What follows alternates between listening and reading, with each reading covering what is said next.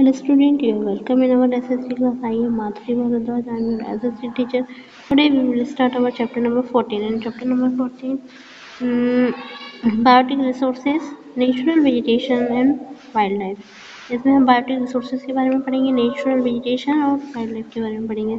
Natural vegetation and wildlife type and distribution of the natural vegetation conservation of natural vegetation wildlife in India and conservation of wildlife natural vegetation and the wildlife natural vegetation and wildlife exist in the biosphere natural vegetable natural vegetation जो world life है वो हमारे biosphere में ही रहती है the narrow zone of contact between the lithosphere hydrosphere and atmosphere is called the biosphere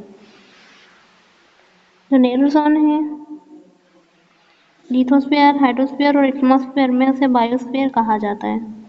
There is a system of interdependence यही जो सिस्टम है, वो एक दूसरे के ऊपर इंटरडिपेंडेंट रहते हैं। Among living being non living thing in the biosphere living being में और नॉन लिविंग बींग में, हमारे बायोस्फेयर में इस सिस्टम को इकोसिस्टम कहा जाता है। How natural vegetable how natural vegetation and wildlife are useful to us natural vegetation और वर्ल्ड लाइफ हमारे लिए किस प्रकार से यूजफुल है? Plant provide us with food plant हमें फ़ूड देते हैं टिम्बर देते हैं फायरवुड देते हैं मेडि मेडिसिन सब्सटेंसेस देते हैं पल्प और अदर यूजफुल थिंग और भी बहुत सारे यूजफुल थिंग देते हैं that satisfy various human human need जो कि मानव की बहुत प्रकार की आवश्यकताओं की पूर्ति करते हैं।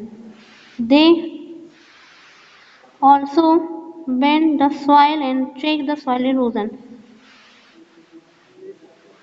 यही सॉइल इरोजन को चेक करते हैं। Animal provide us with milk animal हमें मिल्क प्रोवाइड कराते हैं मीट देते हैं and wool tusk horse etcetera some animal are used in farm operation and as a means of the transport कुछ transport की मीन्स में यूज़ किए जाते हैं। Beside both of the plant and animal help to maintain the balance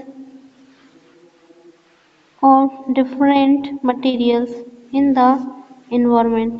और साथ में बहुत सारा जो मटेरियल है इन्वायरमेंट में वो प्रोवाइड कराते हैं।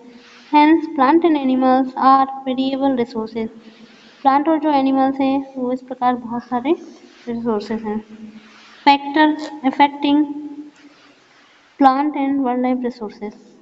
Physical environment comprising on the land, water and soil and climatic condition influence the plant and animals li life living in the region. In the region. Physical environment है, वो land water और soil से मिलकर के बना है जो climatic condition है वो प्लांट और एनिमल को प्रभावित करती है और उसकी लाइफ को प्रभावित करती है। It is due to the physical environment ये फ़िज़िकल इन्वायरमेंट के कारण होता है plant and the animal found on the land plant और जो एनिमल है वो लैंड पर पाए जाते हैं. In the water are totally different plant and rooted in the soil plant की जो रूट है वो ज़मीन में सॉइल तक जाती हैं। They can not move or the migrate वो मूव नहीं कर सकती और माइग्रेट नहीं कर सकती। They make the physiologically adjustment और ये जो है फिजियोलॉजिकली एडजस्टमेंट करती हैं। The seasonal changes in the climate और क्लाइमेट में सीजनल चेंजेस लेकर आती हैं। But the large scale changes in the climate परंतु जो क्लाइमेट है वो लार्ज स्केल में चेंजेस होता है। Many endanger their survival In such circumstance, animal stand better chances to survive. में जो एनिमल्स है उनके पास बेटर चांस होते हैं जीवित रहने के। They are able to move or migrate वो मूव कर सकते हैं और माइग्रेट कर सकते हैं from one place to place एक प्लेस से दूसरे प्लेस पर। मेजर क्लाइमेटिक चेंजेस में be the deadly to extend the animals which are not able to adapt. Themselves in the changes changed environment, such as the animal become the extinct.